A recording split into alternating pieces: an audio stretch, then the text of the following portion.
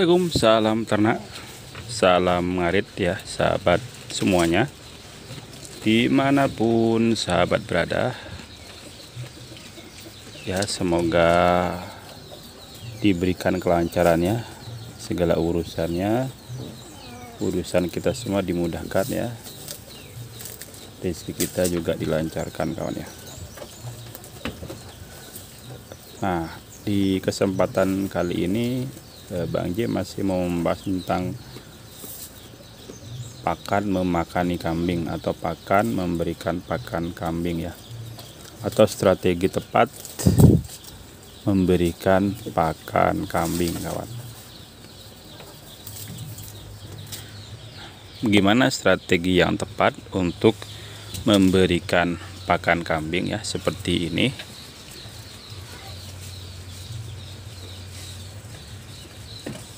kalau strategi di tempat Bang J itu Bang J memberikan pakan dua kali kawan ya. Dua kali.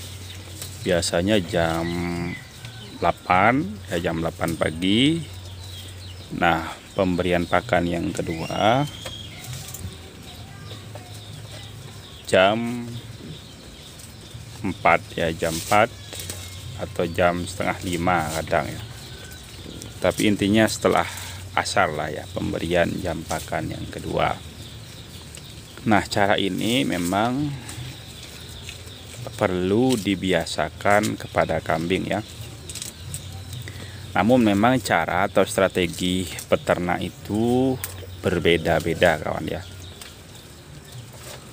Tergantung dari kebiasaan di kandang masing-masing ada di tempat Bang J itu di tempat teman Bang J ngasih makannya sekali kawan ya. Jadi langsung rambanan kan kita ini peternak tradisional ya. Rambanan langsung ditumpuk di kandangnya ya sudah. Nanti biasanya nunggu kalau habis pakannya dibalik ya.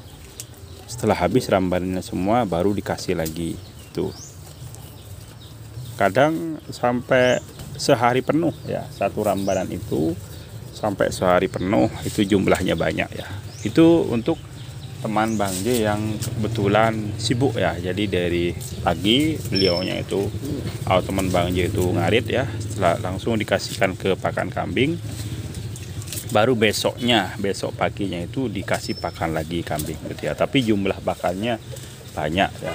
Itu bisa dilakukan untuk sahabat-sahabat yang kebetulan ada pekerjaan dari pagi sampai sore kawan ya. Kalau Bang J kan pekerjaannya kadang pagi kadang siang sehingga Bang J menjadwalkannya dua kali. Ada juga yang memberikan pakan tiga kali kawan ya. Pagi siang sore ada yang begitu ya. Lalu ada juga yang memberikan pakan sepanjang waktu kawan. Artinya sepanjang waktu itu nanti ngasih pakan sedikit sedikit ya. Kalau sudah habis nanti dikasih lagi. Kasih pakan sedikit ya. Setelah kalau habis dikasih lagi ada yang seperti itu kawan ya Nah, setelah Bang Ya amati dari berbagai cara itu, kawan ya, dari berbagai cara itu, ternyata memang tidak ada cara yang paling baik ya untuk kambing itu ya. Untuk kambing itu tidak tidak ada cara yang paling baik. Yang ada itu adalah bagaimana eh, kita membiasakan kambing kita itu makan pada waktu yang kita tentukan ya karena apa? Karena kadang ketika kita contoh kita ketika kita beli kambing kawan ya. Beli kambing.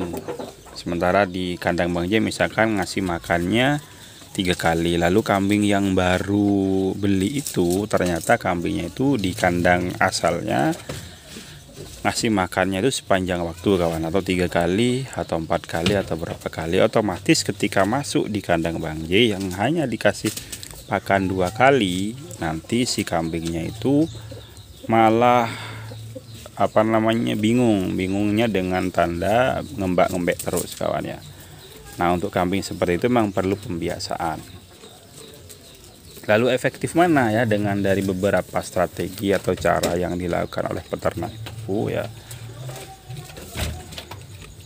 Kalau Bang J amati ya untuk e, cepatnya penggemukan kawannya untuk cepatnya penggemukan yaitu memang cara yang paling efektif itu memberikan pakan kambing sepanjang waktu itu ya. Karena Bang J sudah lihat di tempat Bang Amin ya yang ada di desa Kayoman itu itu pakannya itu habis dikasih lagi habis dikasih lagi itu kambing yang ada di kandang itu yang awalnya kurus terus kawan ya dalam waktu paling lama sebulan itu sudah pulih dan sudah gemuk ya sudah gemuk ya. Nah kalau kita yang menjadwal itu biasanya e, misalkan kita jadwalnya sekali kasih pakan dua kali atau tiga kali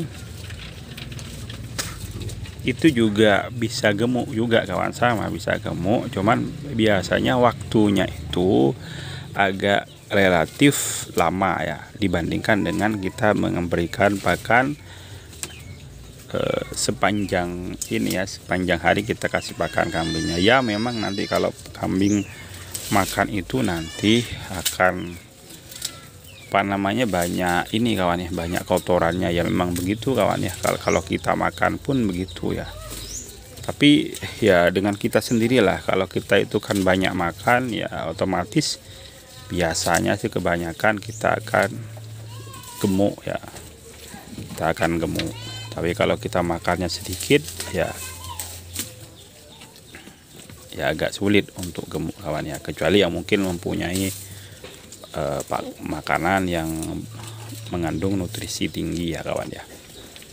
Oke ini dulu ya. Strategi tepat pemberian pakan kambing. Jadi kesimpulan dari Bang J tidak ada strategi yang paling tepat ya yang ada bagaimana kita membiasakan waktu pemberian pakan kepada kambing ya. Semoga bermanfaat.